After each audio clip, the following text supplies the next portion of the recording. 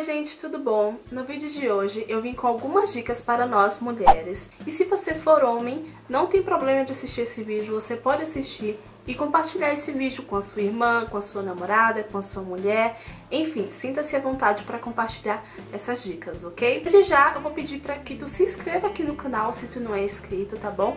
Já deixa seu joinha, vou ficar muito, muito feliz e venha conferir as dicas. Se você for assim como eu, que tem as pernas mais grossinhas e juntas, essa dica vai te ajudar muito, porque eu sei que nós que tem as perninhas juntas e mais grossinha, acaba se assando a usar um vestido sem um shorts por, por baixo, a usar um, uma saia, né, sem um shorts por baixo, que é você usar maisena entre as pernas, não tem problema, pode usar despreocupado, porque não vai manchar, não vai...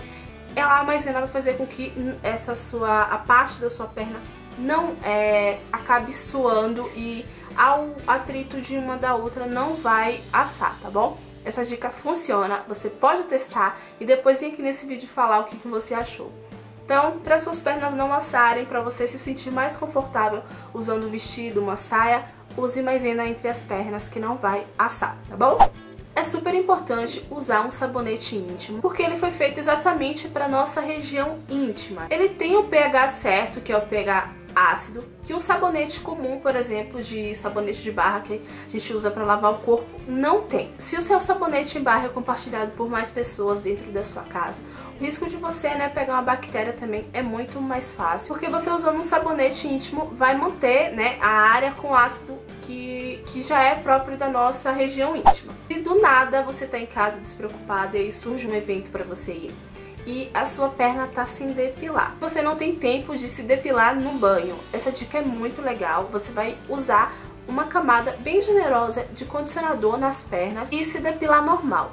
O condicionador vai deixar a sua pele mais macia, facilita também a lâmina a deslizar melhor, fazendo com que não te corte. Então, usar o condicionador para se depilar é muito, muito legal.